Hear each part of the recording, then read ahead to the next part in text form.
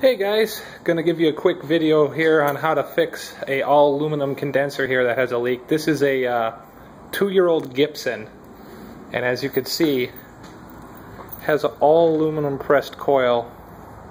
Not a huge fan of this brand, I'm more of a Lennox guy as you can see. Uh, it has a leak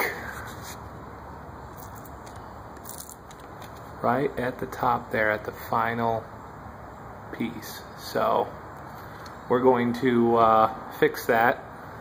I could get a new condenser, but you have to pay shipping and it's $200. So I'd rather just fix it myself. To braze with aluminum, and I say braze, I really mean almost solder, you need a AL822. It's made by a company called uh, Lucas. Let's see if we can get that in the focus there.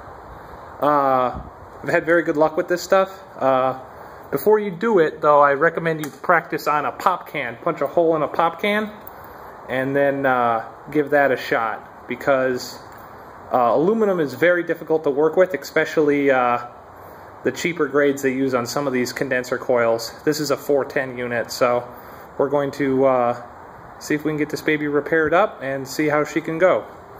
Use a uh, standard blowtorch with this stuff. You only need to reach about 700 degrees.